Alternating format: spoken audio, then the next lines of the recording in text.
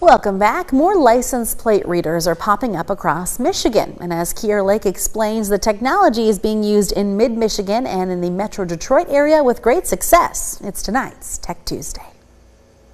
Michigan State Police are now taking advantage of license plate reading technology, and the only ones being used now in mid Michigan are on I 94 in Jackson.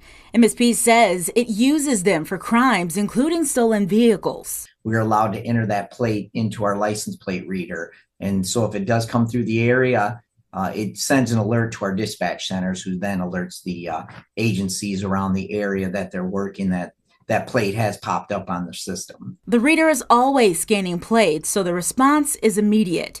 And these aren't just being used to solve crimes, it's also helping find missing people. And a lot of it's with Alzheimer's, dementia patients um, that are out, they left for the day, um, hasn't returned home, so the kids are calling. So we'll put that plate out in the reader, and that car comes through the area. We're able to stop that and get that person home safely. So that that's been huge with helping out with that. It can also track down people who left in a vehicle after a domestic violence incident.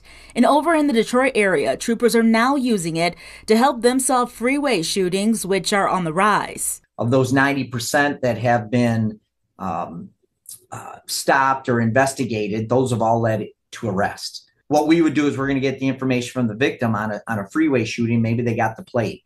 Then we can go back and look, put that plate in, and find out where that person was and what happened. And he says these readers are in visible locations. We respect people's privacy. We know that's important to everybody. So they're out there to help the public um, to keep them safe. So we're not. Which he says is MSP's top priority. Here for you in Lansing, Kiera Lake, 6 News.